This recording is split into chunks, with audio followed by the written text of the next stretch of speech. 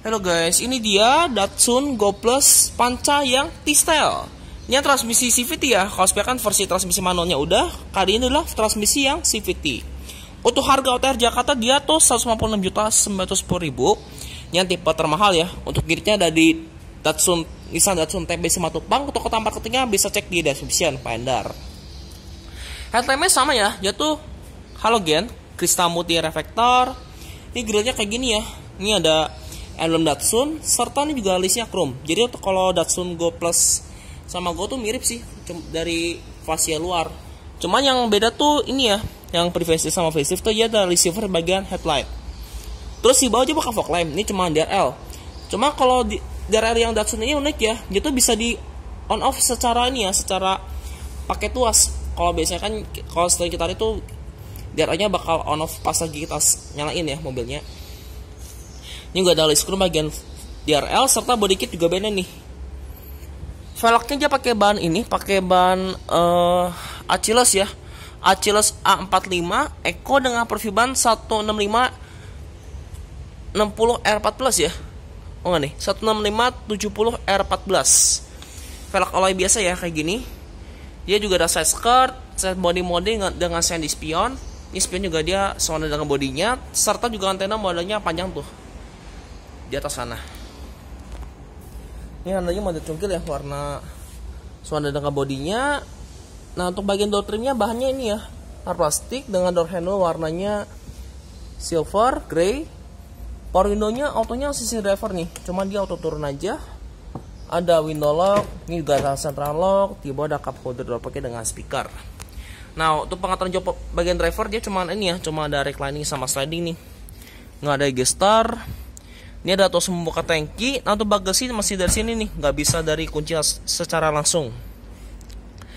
Ini yang transmisi matic ya dua pedal nih yang CVT ini ada tos membuka kap mesin scanner OBD ada laci lagi dua buah dengan indikator alarm. Nah ini yang Datsun Go Plus nggak ada ini ya nggak ada indikator DRL buat on off nih. Ini juga sudah take mirror tapi dia belum etiquette track. Ini juga bahan dashboardnya. Nih plastik biasa nih ada apa sih namanya itu? List. Ini ya warna beige sama hitam. Kuncinya kayak gini nih. Modelnya mencatu sama remote juga kayak gini. All type dia udah immobilizer ya kunci Datsun Go Plus ini sama Go biasa. Nah sekarang coba kita nyalakan kondisi pintu terbuka.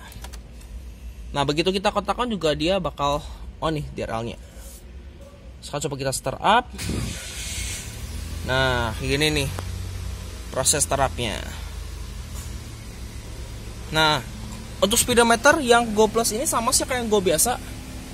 Ini juga ada ini nih ada sisa bensin real time konsumsi BBM rata-rata konsumsi BBM ini tadi sisa bensin odometer trip A dan trip B real time.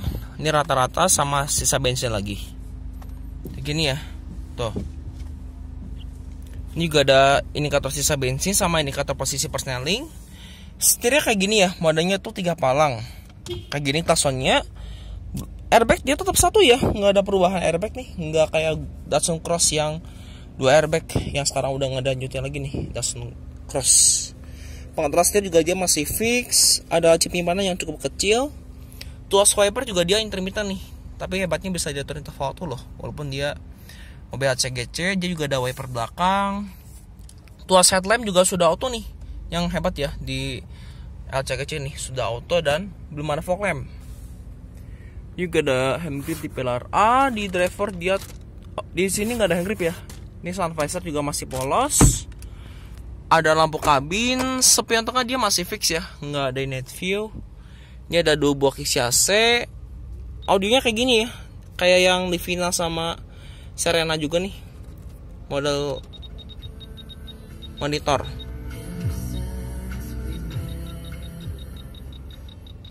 Kayak gini. Ini juga dia bisa ini ya bisa Apple CarPlay sama Android Auto. AC juga simple ya ini cuma ada pengaturan speed fan sama suhu. Dan infonya sekarang ini nggak dami ya bukan dami nih. Jadi bener-bener pengaturan temperatur. Ini ada power outlet sampai hazard untuk transmisi dia ini CVT ya. Nih kayak gini. Tuh. Dan kalau saya mundurkan juga dia belum ada kamera mundur. Cuma sensor parkir aja. Ada ini juga nih ada overdrive nya di sini juga ada dua cup holder power brake mechanical yang warna hitam. Ini juga ada chip penyimpan cup holder dengan joknya bahannya kayak gini nih. Fabric warna hitam sama kombinasi warna terang ini seatbelt dia model fix, hand grip di sini fix, sun visor dia tuh masih polos nih, nggak ada vanity mirror sama sekali. Ini gak belum ada airbag ya, dia cuman di driver. Laci penyimpanan juga sama ya, belum soft open nih kayak gini. Di situ juga ada input USB cuman ngumpet ya. Ini layout dari dotremnya. Sekarang coba kita ke baris kedua yuk.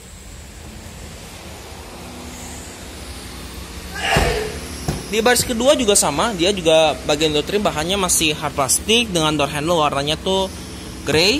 Ini ada power window, di bawah dia nggak ada apa-apa nih, nggak ada cup holder apalagi speaker. Akomodasi baris kedua ini tuh sebenarnya standar sih, nggak lega-lega banget nih. Ada 4 jari space-nya. Di sisi rever nggak ada CP pocket, apalagi di sisi penumpang depan ini masih standar. Penggerak depan dia cuma masih ada tunneling, ini layout dari dashboard dan dotrima nih. Datsun Go Plus Panca T-Style Automatic CVT. Ini gak hand gripnya model fix. Seatbelt dia rapi ya. Dengan headrest yang masih fix dua-duanya nih. Dan nggak bisa dilipat separuh-separuh. Ini kalau mau akses ke baris ketiga ya mau nggak mau kita mesti tarik tuas ini nih. Gak bisa ini ya nggak bisa dua kali. Dia masih bersamaan buat ngelipat kursi baris kedua. Headroom baris kedua dia juga terbatas Yuk, sekarang coba kita ke baris ketiga ya.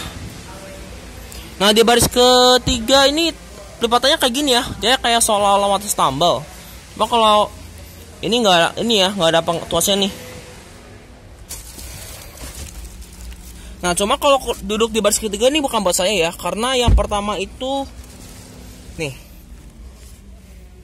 ini kaki saya nggak pas banget, udah mengenai kursi baris kedua, terus juga headroom ini sangat terbatas ya. Bahkan juga kepala saya mesti nungkak nih. Jadi kayak ikan sarden di belakang. Juga nggak ada hand grip. Di sini cuman polos ya. Karpet doang. Nggak ada bahan-bahan buat cup holder.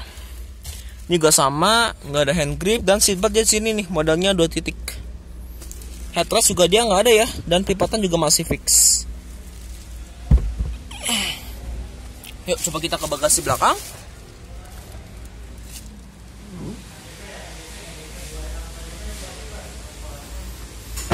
Untuk rem belakang di sini dia tromol, stopan belakang juga masih standar bohlam ya, belum LED kayak gini. Nah di bawah sini dia juga ada dua soal parkir dan sedikit beda nih dibandingkan yang tipe yang lain nih, yang tipe Go biasa. Ban serep dia di sini dia full size. Muffler juga udah, udah ini ya, udah yang model chrome nih, bukannya model pakai karet aja nih. Ini bagasinya pakai ini ya, pakai masih pakai kunci atau enggak dari tuas di dalam. Nah ini space bagasinya terbatas nih kalau misalkan kursinya tegak kayak gini. Cuma kalau misalkan kita lipat nah nih. Nah kayak gini ya. Tuh buat keluasan bagasi. Kayak gini lah kurang lebih. Nah ini desain dari belakangnya secara overall nah nih. Datsun Go Plus Panca yang T-Style CVT nih di belakang juga lengkap dengan wiper, ada rear defogger, stop. Oh nggak ada rear defogger ya? Ini cuma ada stopnya dan upper spoiler. Ini ada tulisan Datsun Nusantara juga. Tangki bensinnya dia nih bensin tanpa timbal ya, alias unleaded for only. Untuk sisi penumpang depan juga sama nih. Ya standar, pengaturan jok dia cuma ada reclining sama sliding aja nih. Nah, nih. Sama nih ya, sama karpet nih dan ini layout dari dashboardnya secara overall dari penumpang depan. Tuh. Untuk mesinnya kalau GoPlus ini pakai mesin HR12DE nih ini. Mesinnya juga dipakai Nesa March ya HR12DE 1200 cc dengan 3 silinder cuman nggak ada teknologi auto variable ya dia cuman mesin biasa nih. Output tenaga beda kalau yang Matic dia lebih besar dia tuh 76 horsepower torsinya dia tuh 104 Nm ini sudah cek ada cuman promosi di sini masih warna dasar. Nggak ada ABS ya bagian sini. Untuk kapsin juga sama ya masih warna dasar tapi udah ada pedalnya